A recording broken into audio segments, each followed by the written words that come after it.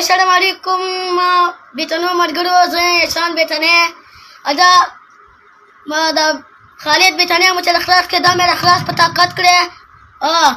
ا دا دغه چې دا مشهود دا به د خلاص او په سمه سره د خلاص کو کوند نور مو مسره خوځوا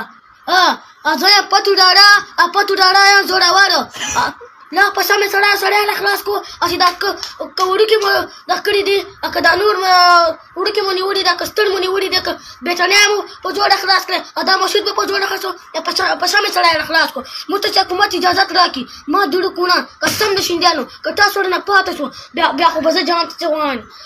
او په سمې سړی له خلاص کو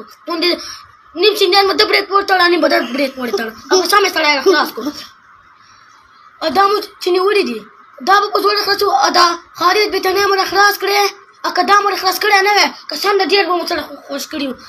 زه هم به تنه ایشان به تنه یم کب